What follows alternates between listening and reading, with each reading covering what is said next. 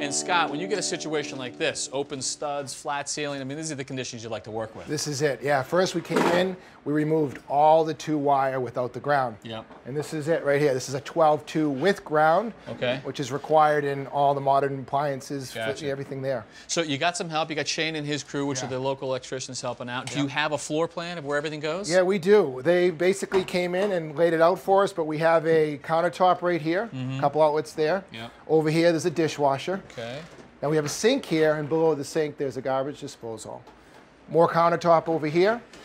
Light switch for the little pendant light above there. Nice. And then Shane's working on a receptacle for the gas cooktop and oven. Okay. And then he's also going to wire a hood fan right, Right. there. So a lot more circuits and a lot more power coming to the kitchen because of all those appliances.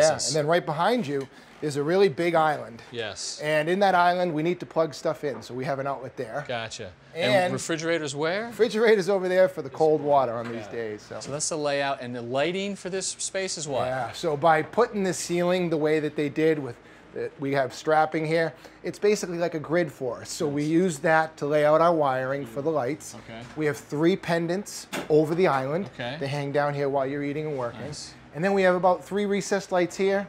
They come over here, over there. It's gonna give it real good general lighting in the kitchen. So. All right. So you got a floor plan. You know where everything goes. You got some local help. You guys are off and running. Yeah, we're good. All right. I'll leave you to it. Thank you. Thanks, Kevin. How you making out over there? Pretty good. All right. Getting these countertops wired up. So let's get some holes drilled over here. Okay. So now um, on the other side, we have a countertop space over there. We got another outlet I think you got to put in over there. Yeah, to make our coverage. All right, now down below, um, we usually do at home is we wire a 14-2 to the dishwasher and a 14-2 to the garbage disposal. Same thing we do here. Same thing here, okay, great.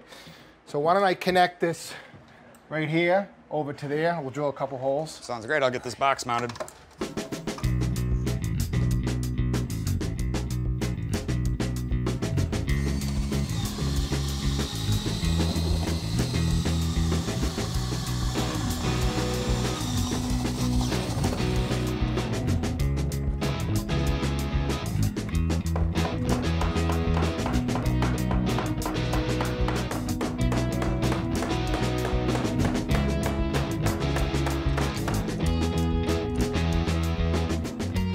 All right, let's get some lights. So that laser line right there, is that where you're gonna line up these three lights? That's what I'm gonna make center. Okay.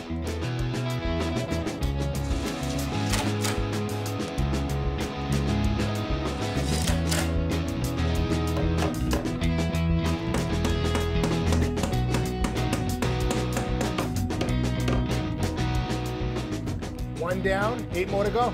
Maybe after lunch. All right. Thanks for watching.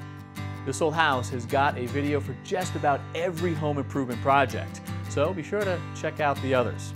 And if you like what you see, click on the subscribe button. Make sure that you get our newest videos right in your feed.